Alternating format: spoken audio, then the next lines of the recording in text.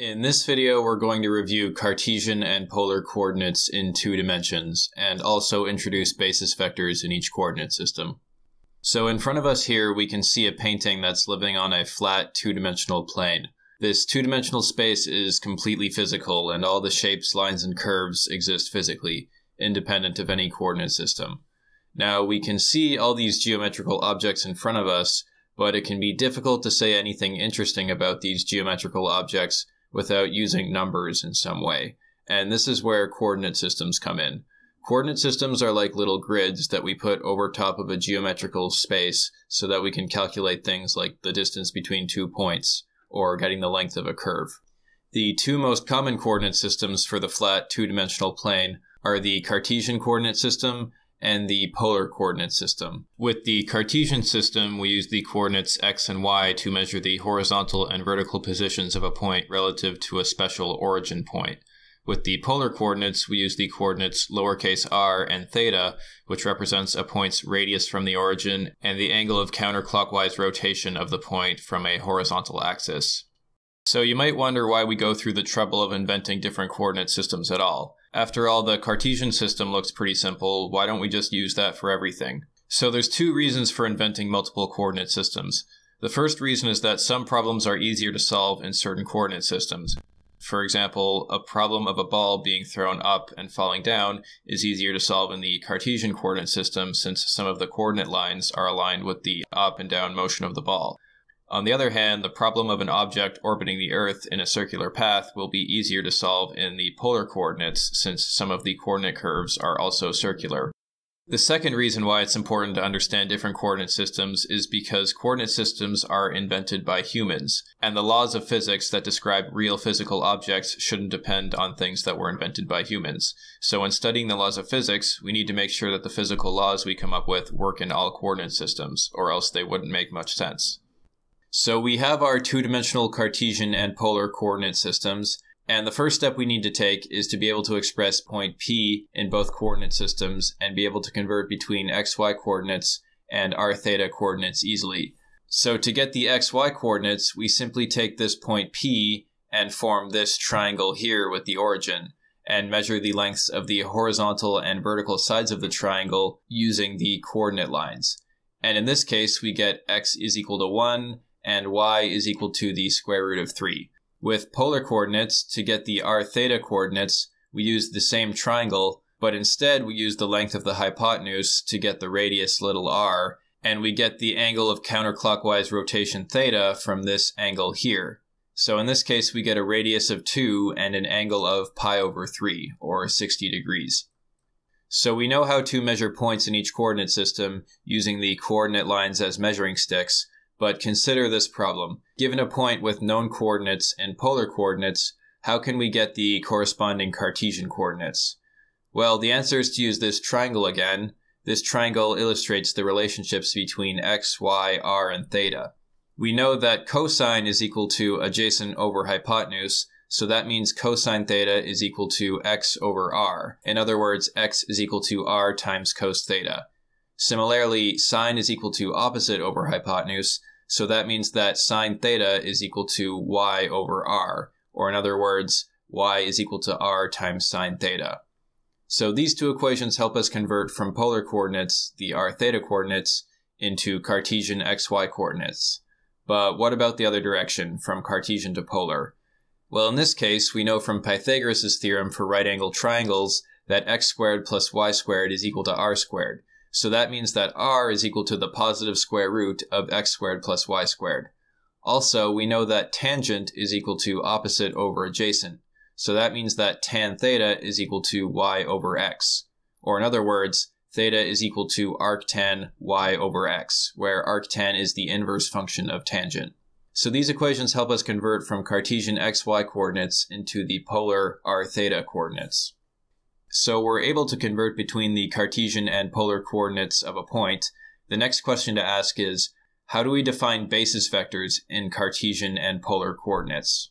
Well, we can answer that by looking at coordinate systems where all the grid lines are parallel, like we did in the Tensors for Beginners series. Here we have two different vector bases for two-dimensional space and their associated coordinate grid lines. Now notice if we make the basis vectors disappear but leave the grid lines, we can still figure out what the basis vectors should be. We simply pick a point on the plane and follow one of the coordinate lines, and this direction here gives us the E1 basis vector. And following this other coordinate line gives us the direction of the E2 basis vector. And again, following this line over here gives us the direction of the E1 tilde basis vector, and this line gives us the direction of the E2 tilde basis vector.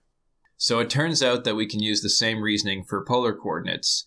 Just as we follow the directions of the coordinate lines in Cartesian coordinates to get the EX and EY basis vectors, we can follow this line to get the ER basis vector, and follow this line to get the direction of the E theta basis vector. And notice that since the theta coordinate lines are actually curved, we need to pick the straightest possible direction when moving along the curve. So this would result in a direction given by the vector tangent to the curve. So we can think of basis vectors as being given by the directions we get from following the coordinate curves. Now, in the introduction video of this series, I told you that this symbol here, which you normally think of as a vector, can be reinterpreted in tensor calculus to be a partial derivative. And that might seem strange at first, but I'll show you what I mean. Let's start with a position vector capital R in Cartesian coordinates and put its tip at the coordinates xy. So when I write this notation here, I just mean a position vector which starts at the origin and ends at the point xy.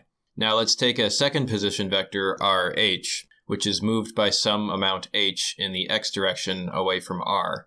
The change between these two vectors is this blue vector here, RH minus R. Now we can consider the rate of change between RH and R as h goes to zero, and this is basically the partial derivative of the position vector r with respect to the x-coordinate, since h acts like a small step in the x direction. So if we start with h equals 1, then rh minus r is this vector here, and dividing by h is just dividing by 1, so the vector length stays the same. Now if we use h equals 1 half, then rh minus r is this vector, and dividing by h is dividing by 1 half, which is the same thing as multiplying by 2, so it turns out we end up with the same vector of length 1 once again.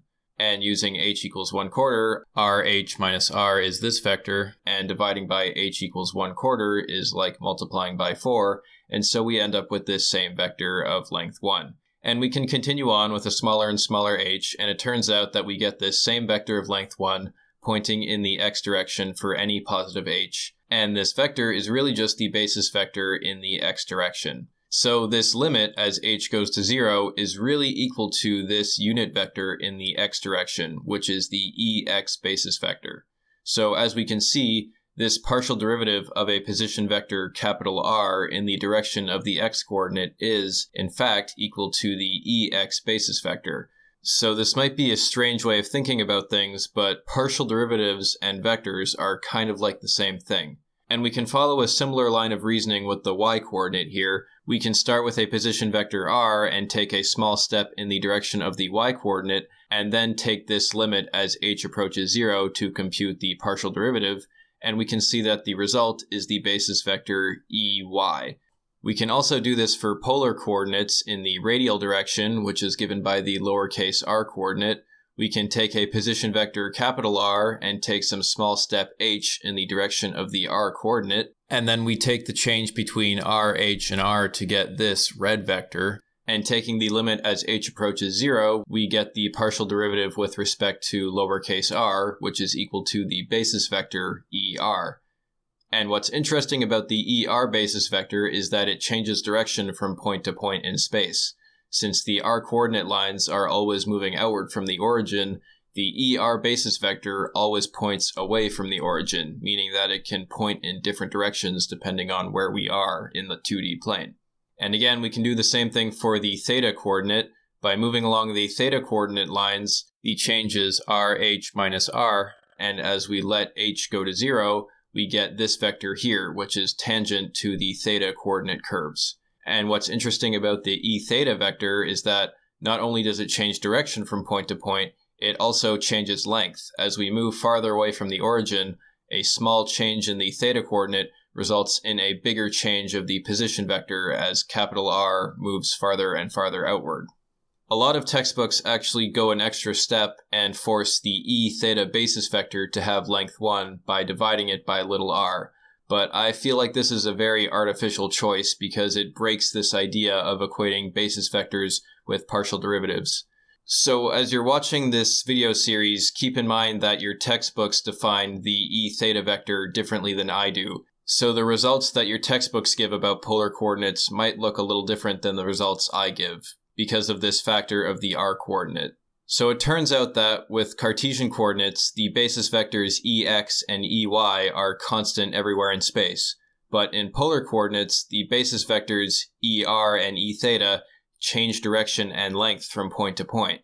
So to sum up what we've learned in this video, we've learned the formulas for taking a point on the two-dimensional plane and converting its coordinates between Cartesian coordinates and polar coordinates, and we also learned a new interpretation for basis vectors, where we equate basis vectors with partial derivatives of a position vector along the direction of coordinate curves.